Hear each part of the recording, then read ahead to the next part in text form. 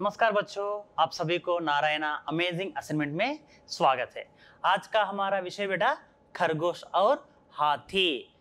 कहानी सुने ना? हाँ उसी पार्ट से संबंधित छोटा सा असाइनमेंट मैं आपके सामने लाया हूँ। क्या है? पढ़ेंगे?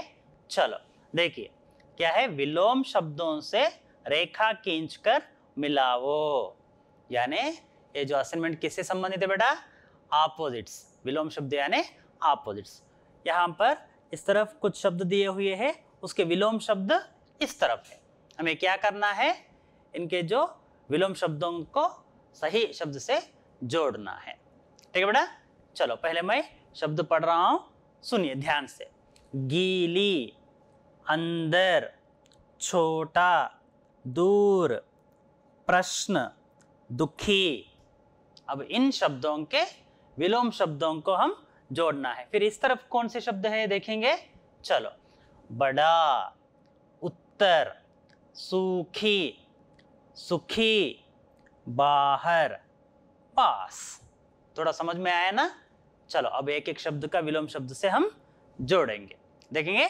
चलो, गीली। गीली का मतलब क्या होता है? बारिश में, हम पानी में कैसे हो जाते हैं? गीले हो जाते हैं।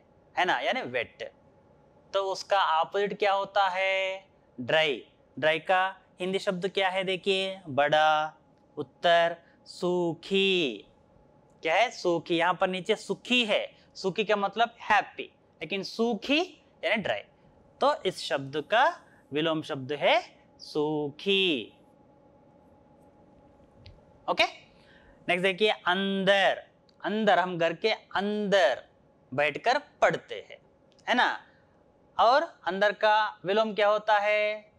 हम कहाँ खेलते हैं? घर के बाहर, है ना? अंदर का ऑपोजिट क्या होता है? बाहर। देखिए, अंदर को बाहर शब्द से जोड़ दिया। ठीक है? छोटा छोटा, है ना? छोटा का विलोम क्या होता है? क्या है ये? बड़ा। छोटा, बड़ा। क्या है? बड़ा यहाँ पर है। छोटा का विलोम बड़ा। नेक्स्ट दूर। दूर। मेरा घर पाठशाला से बहुत दूर है, लेकिन मेरे दोस्त का घर मेरे घर से बहुत ही पास है। दूर और पास। ओके दूर का विलोम क्या होता है? पास। नेक्स्ट प्रश्न। हाँ। हम प्रश्न पत्र यानी क्वेश्चन पेपर में हम क्या आ, क्या देते हैं? अध्यापक प्रश्न देते हैं। हम उसका क्या लिखना है? आंसर्स लिखना है। आंसर को हिंदी में क्या कहते हैं? उत्तर। प्रश्न का क्या होता है? विलोम उत्तर। ओके लास्ट में देखिए दुखी। अगर से अध्यापक आपको डांटे तो हमारा मन कैसा होता है? दुखी हो जाता है। वही सार प्रशंसा किए तो तारीफ़ किए तो बहुत खुश रहेंगे, है ना? सुखी से रहते। तो दुखी का विलोम है सुखी।